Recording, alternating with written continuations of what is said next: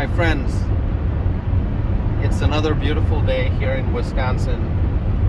I'm driving on a beautiful highway, and I don't know if you can see in the camera, the sun is right there, and I'm enjoying the light of the sun, the warmth of the sun, and it's such a bright day.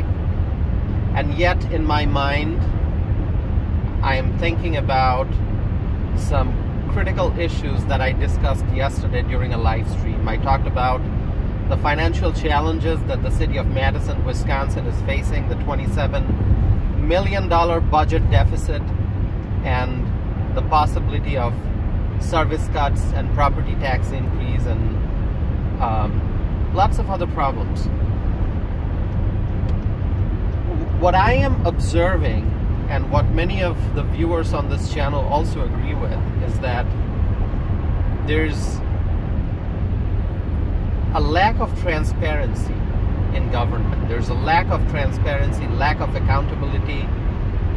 The government is supposed to be serving the people, and yet it seems that the government's using people's money in ways that the, the people, the voters, don't have any control over. And that's the problem. And, and so I don't know what's going to happen going forward in terms of the problems facing the city of Madison, Wisconsin with this $27 million budget deficit. But as I said during the live stream, th this is not the only city facing a problem. And so I'm encouraging everyone who watches my videos and who listens to my podcast. I'm I'm encouraging each and every single person to pay attention to what's going on in your community. Talk to your local officials, find out what's the financial situation of your town, of your village, of your city, of your county, of your state talk to your state officials too. And it's only when the voters become aware of their surroundings, it, it's only when the voters become aware of the, the state of their communities, that's when we can have accountability and transparency in, in society. So I believe that the power of good will always outweigh the negative forces that are out there in this world. And in many cases, we see that in government, there are officials who are driven by negative forces.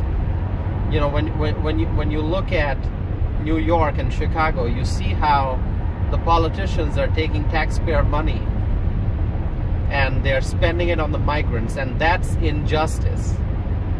If you if you want to be uh, a good elected official if you want to govern in a way that's proper that's honest then you must prioritize the American citizens. You must be accountable.